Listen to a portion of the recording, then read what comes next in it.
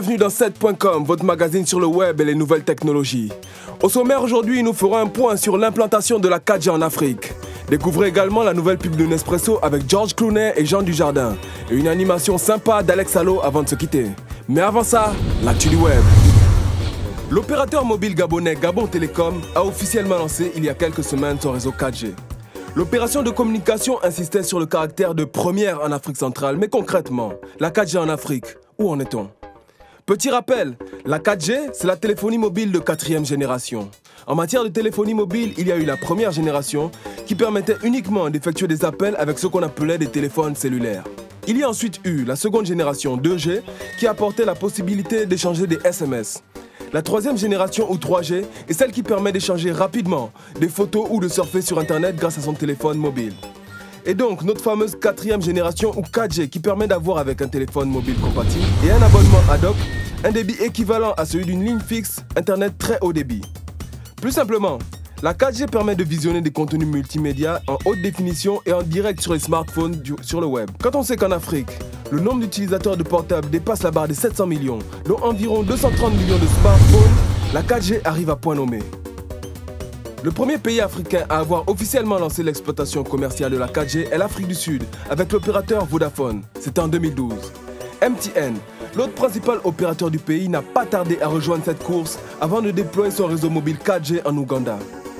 Après une phase d'expérimentation, d'autres pays sont eux aussi passés à la 4G. On peut citer parmi eux la Namibie, l'Angola, la Tanzanie, l'île Maurice, le Nigeria, le Libéria, le Kenya, l'Égypte ou encore le Maroc. La 4G en Afrique a connu quelques obstacles au démarrage, tels que la disponibilité du spectre, le coût relativement élevé des terminaux par rapport aux revenus en Afrique, ou encore des problèmes de légalité.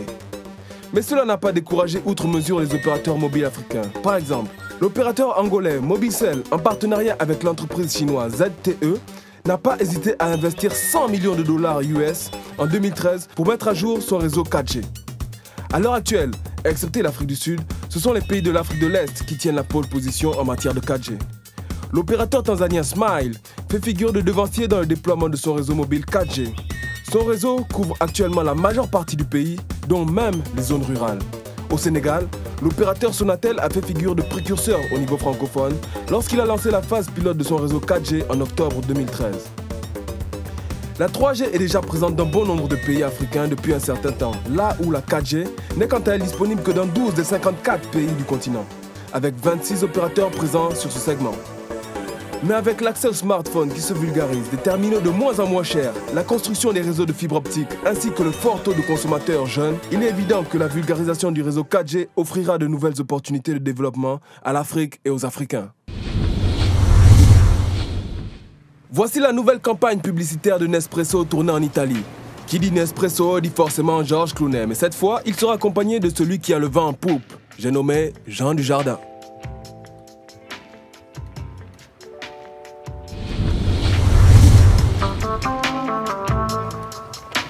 Jean.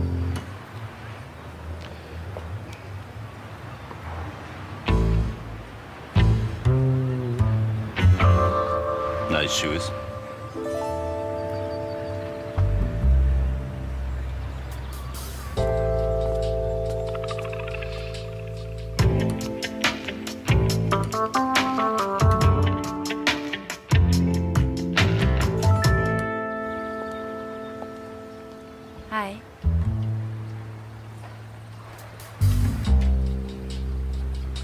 Thank you so much.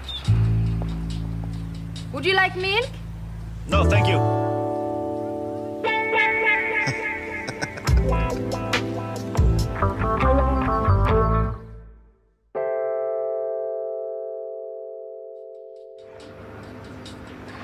George?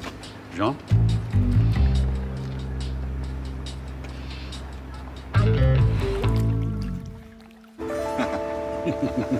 How